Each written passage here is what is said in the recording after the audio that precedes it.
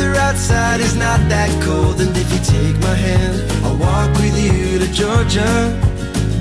What's going on, everyone, and welcome back to Country with Celine. I'm your host, Celine Trimarchi, and joining me today is Zach McPhee.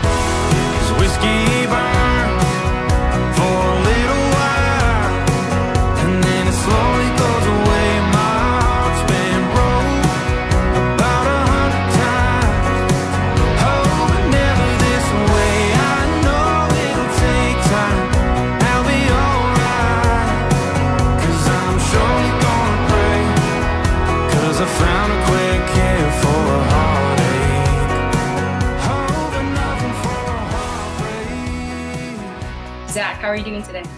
I'm doing good. Thanks for having me, Celine. Anytime. It's been a while since we've last chatted, and lots has happened uh, since then. I mean, you finally released your EP. You're expecting a baby boy, and you're engaged. So tell me, how's life been like?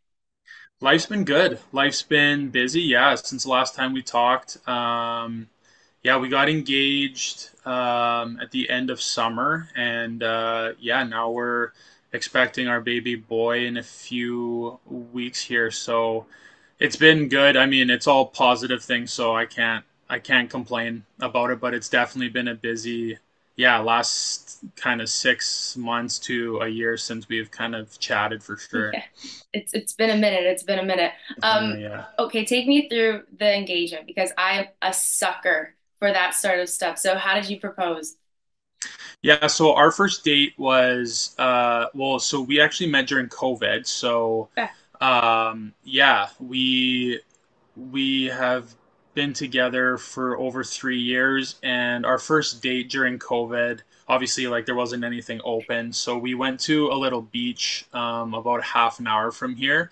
So I kind of wanted to recreate like the beach kind of theme and I didn't want to go to the same beach just because I feel like she would have got the hint probably or like knew it was coming. Mhm. Um, so yeah, we went down, we kind of packed a little picnic down to a beach close by our house. We live in uh, Kelowna here, so um, we went down and yeah, it was supposed to be just kind of, or so she kind of thought it was just going to be like a picnic at the end of the summer, and then yeah, ended up uh, getting the ring like about a month prior. So I kind of had a plan, and then uh, yeah, just kind of took it from there, and yeah, We like men that have plans. We like that. We appreciate it.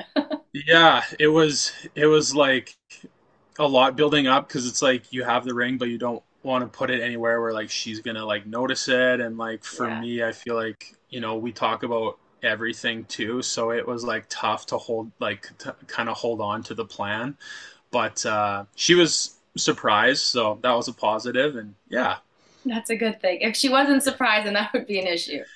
yeah, so it's been good.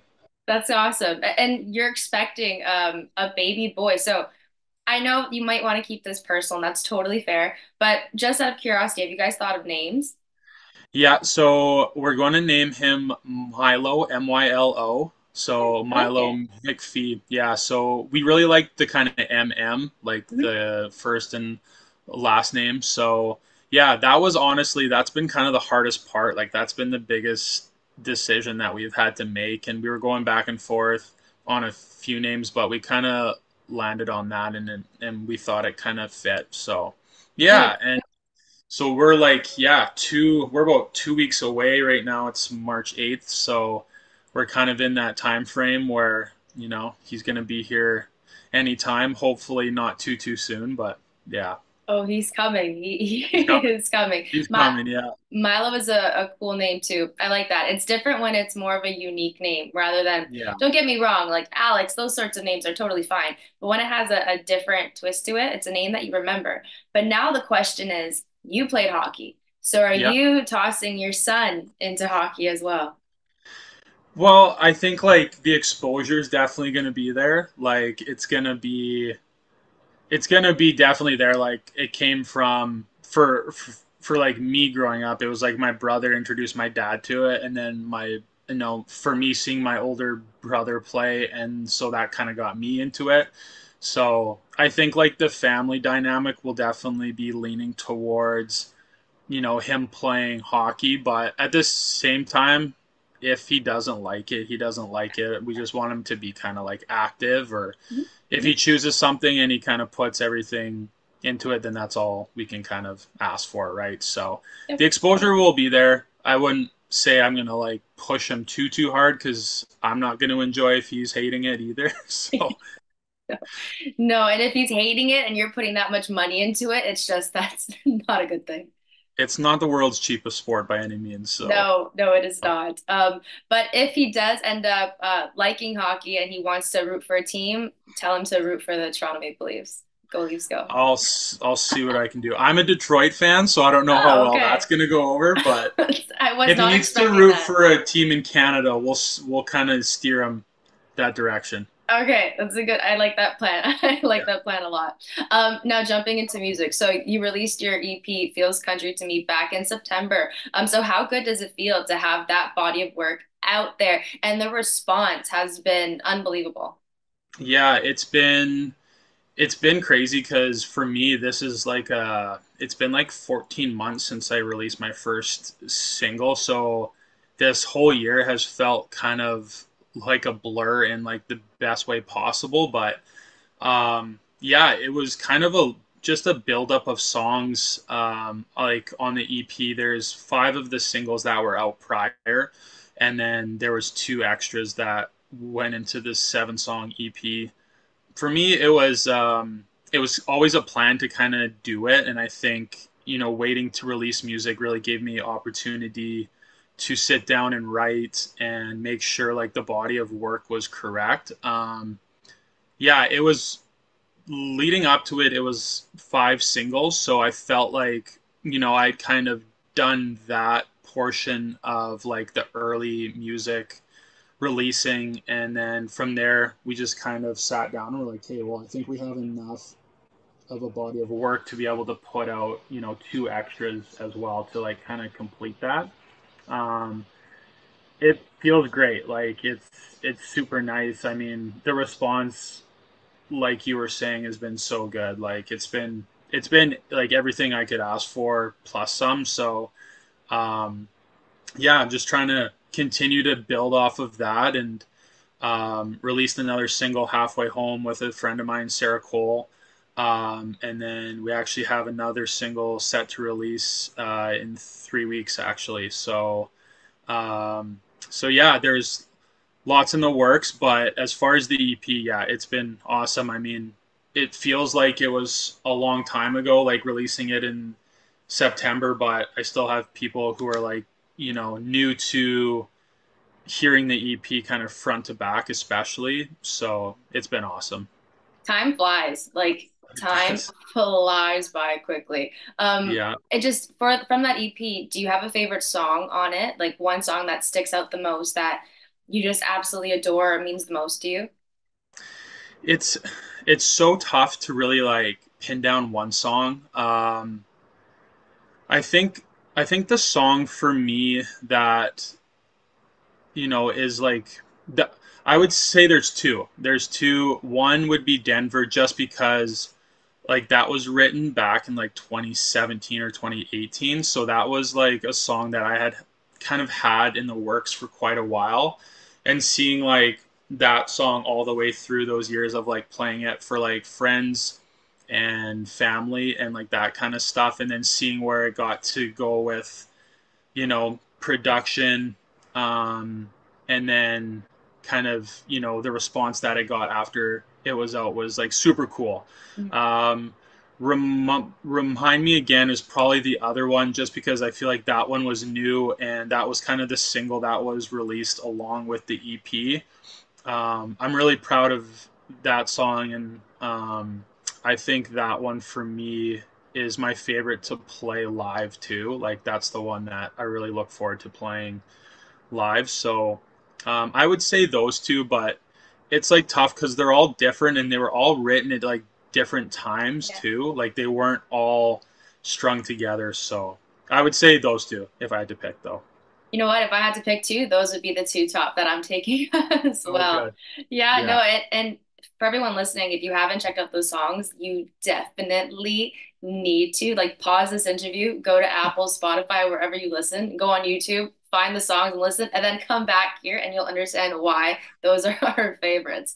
Um, but just think about this you came into music later in life and you've yep. already made such a, a, name for yourself already. I mean, you got the head of um, Canada's country. Your songs have gone on to multiple different playlists. People are posting videos to your songs on TikTok. I was taking a little scroll and and these videos too, like they're getting quite a number of views and likes. So people are are liking your stuff, and you have eleven thousand monthly listeners right now on Spotify, and you, the numbers for your songs, like just on Spotify alone, are really really really high. And apple music i can never find them on apple music. I think you guys only can see them on apple music yeah. but i'm sure they're just as high. So like have you ever had that like moment where you've just been like wow if i didn't go for it none of this would have happened yeah i th- that's a good question and i think like to go back to your point about like releasing music you know last year and i was 29 at the time when my first song came out um, I think it was really good in the sense that I felt, you know, mature enough at where I was in life to really like put my best foot forward and put out music. Like prior to that, it was a lot of, you know, focusing on hockey, getting my yeah. schooling done. Um, and then leading into like moving back home from Saskatchewan where I was at school, I definitely made it a goal to, you know, get a song out. Um, I had done pretty much covers and stuff up until then. I had written and been in like some studios prior to that, more so just feeling it out. Um, but yeah, like after coming home and kind of sitting down and really, you know, looking at what I wanted to do, music has always been a huge passion of mine. And the goal was to release a song. And again, with music, it's just like you put it out and you hope like people gravitate towards it but it doesn't mean like necessarily they do right people mm-hmm. will mm-hmm. like your music you know and it's been great that they've talked about it shared it but um, there's also people who probably don't and that's completely okay with me but um, that was definitely the first song was i don't want to say like a trial because i thought it was a song that really um, brought together everything that I want to be as an artist, as far as like the singer songwriter style um, of country, which has been also just a great timing for me because that's kind of popped off in the last little bit.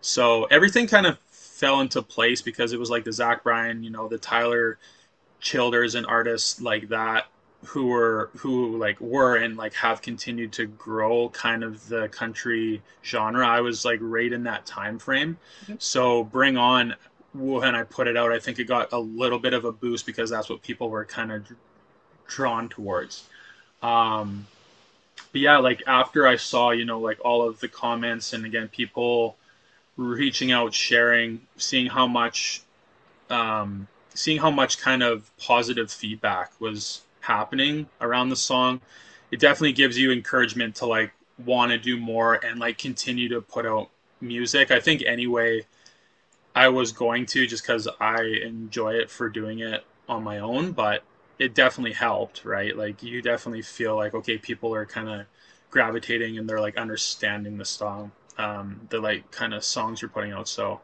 um, yeah, that's kind of how it started, and that's kind of carried on into now we're five singles, a seven song EP later, and mm-hmm. more to come. Yeah, that's so exciting. More to come. I know you just released, well, you teased a single and I commented on it because I was like, this is a really good song. So, just out of curiosity, is that one of the songs or is that the song you might be releasing? Um, because you said in three weeks or no? Yeah, so that one is the song that's coming out.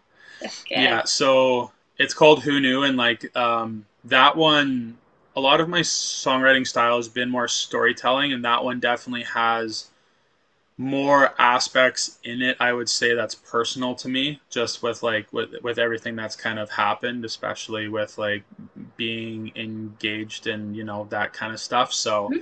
It is more of a personal song. There are like aspects that are still storytelling in it, but um, so yeah, that's like a whole new kind of terrain for me to go in, but um, I'm super excited for it. Yeah, it's definitely. I don't want to say it's more of a pop country song, but it definitely has more like pop production behind it. Mhm. So, um, yeah, I'm pumped for it. Yeah, I'm pumped for it as well. Um, and now, is this a song that you wrote strictly yourself, or was it a co-write? Yeah, no, that one was just me. So, um, yeah, that was just in the back room at the house here, and yeah, everything kind of came together at once. So it was I love. I love it. I love it. Yeah. Um, you know? And since we were talking about singer-songwriter, um, because that's just become so popular, and that's exactly where you fit in. Um, so with this this song being more of on, would you say like a pop element sorts of songs, I'm sure people are still gonna gravitate to it because that's so popular nowadays too in country music. Mhm. But before we jump into something else that's huge that I want to touch on, um, who would you say is your go-to artist right now that you're listening to, singer-songwriter wise? Yeah, I think um, I kind of, you know, like Z uh, Zach Bryan for sure. Tyler Childers has always been like a super, um, you know, I've I've like really looked at his songwriting styles. Um, and then for for me growing up too, like my exposure was again like through my brother because you know he's seven years older. So for me, like driving in his cars as like like a teenager and stuff, I like naturally gravitated towards like stuff that he really liked to listen to. So it was more of like the John Mayer, like the Damien Rice, Gregory Alan uh, who's like a huge, huge favorite of mine too.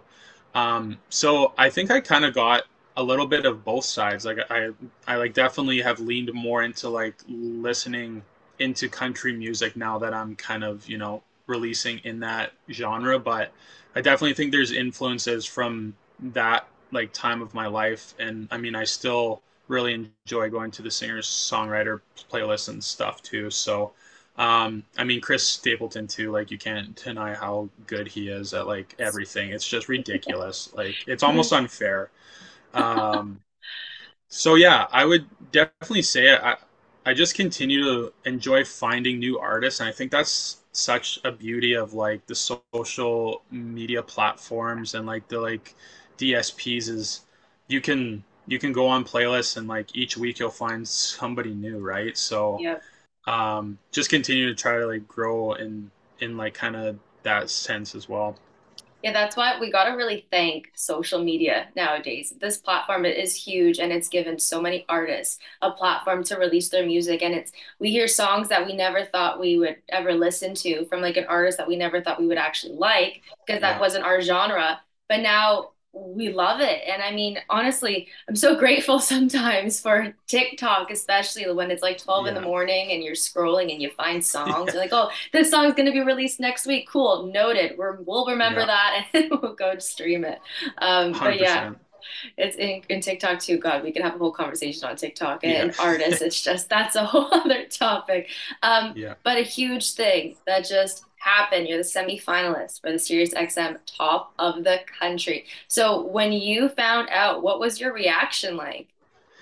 Yeah, it was uh it was I mean honestly like just so cool, right? Like for me that was a goal. Like I knew a couple of the artists that were in the um that were in the competition last year and just kind of saw, you know, what the competition can do for independent artists as well, right? It's just like a huge platform. So very very like grateful and yeah just like a moment where you realize like how how much like kind of hard work has paid off too like to be able to you know do a lot of this stuff on my own with the help of my brother and obviously like family as well but um just like so pumped just so pumped to be even like you know in a group of artists where you get the opportunity to kind of showcase that so um, it was kind of a surreal moment. Like you get the call and you're like, "Hey, you got accepted," and you don't really expect it, and you don't know it's Yeah. coming.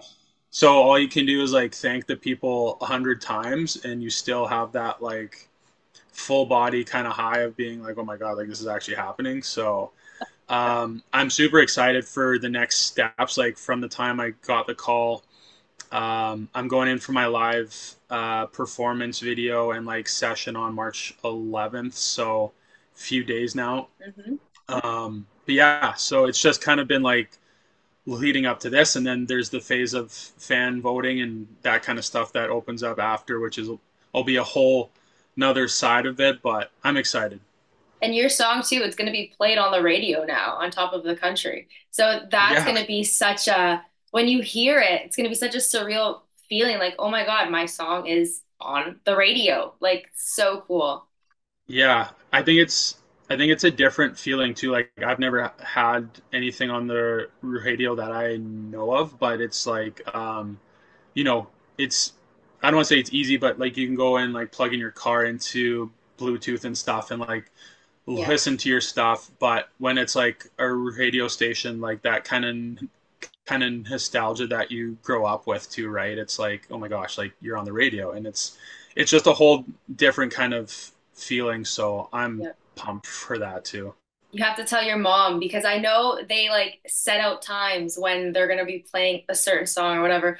You gotta tell your mom, you gotta tell your fiance. Oh, yeah. Everybody has to be in their cars or in the house sure. with the radio on. She'll be Oh, all over that. They'll be all over that. It's so funny.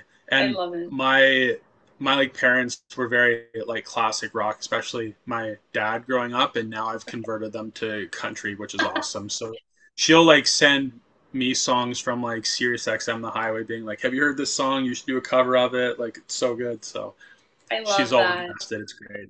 Yeah, Yeah. country music is the best genre out there. So, Hundred percent. I mean, everybody should come to our side. Yeah. It's the best side. Exactly. Yeah. So that's super exciting. You're going in soon to go and get the video done, and then everybody can go and watch it. And people are going to be listening to you too on the radio, not just from Top of the Country, because trust me, we believe in you, and you're going to go a lot further than just Top of the Country, Zach. And I have to tell you that here first, so you Oh, remember. you. I'm saying it. No problem. Um, but yeah, I'm super excited for you for everything that you have going on in March, just like with your baby. You, oh, Yeah. actually, um, since she's your fiance, are you, did you guys set a, a date for a wedding yet? Yeah, so we're um we're gonna get married uh next uh July. So Okay. July 5th, I believe, is the date next year. Um her parents have a nice little piece of property in the Okanagan, so we've always wanted to do kind of a home, smaller base kind of uh, wedding. So yeah, we're going to uh, obviously give the year to get our baby, you know, acclimated and give us time to you know get settled in for uh, that but yeah that's the plan so next year so it'll be good it'll be music is hopefully going to be going good you know we'll have the baby and then it's like now we have to plan the wedding which will be another thing but it'll be exciting i'm super pumped for that It's it's going to be an exciting uh, two years ahead for you. And uh, last one before I let you go, upcoming shows. Are you performing anywhere? Well, actually, I don't know, maybe because uh, if you're having a baby soon, I don't know if you're going to want to be playing shows anytime soon. But anything in the summer that's popping up? Yeah, I again like this time was definitely um, designated towards like the top of the country stuff, and you know getting that underway. Obviously, the birth of our child is obviously Yeah. a, like a huge thing, but um, Addie, my fiance, is just so supportive. So she's like, honestly, anything that comes up, just go right. Like obviously, if if everything's good and if, and like fingers crossed um, that it is. So planning to do a show uh, down in Vancouver in June. Those those details aren't confirmed. That's going to be, I believe, a nude, uh, um, like alcohol, like the alcohol brand Nude. They're going to cool. uh, sponsor it um, down in Vancouver. There's a Nashville Nights session uh, down in Vancouver as well at the end of April, and then and just working on stuff for the summer now. So hopefully, you know, fingers crossed, everything with this Sirius XM thing goes well. And I know, you know, if you get into the top three, there's all those things that come along with it as well. So leaning towards those, and yeah, I'm just, I'm just kind of taking it day by day right now, but definitely looking to expand shows in the summer for sure. Hey, well, we're all rooting for you, we're behind you, and good luck with the competition. And Thank even if much. Even if it doesn't go the way you planned it, I'm sure you're still gonna go places as well. Well, thank you. I appreciate it. You're welcome. Well, thanks so much, Zach, for chatting with me today on Country with Celine. I appreciate it. Thanks, Lee. Maybe the story story you told was different. Maybe it made you feel good. And I know when you come running back, you'll try to help me to remind me again why I still loved you. And after all this time, after the long days, heartbreaks, sleepless nights And all your fake goodbyes. I know I had my arms wide open. This time they're closing fast. And I learned by now Nothing good comes from taking you back.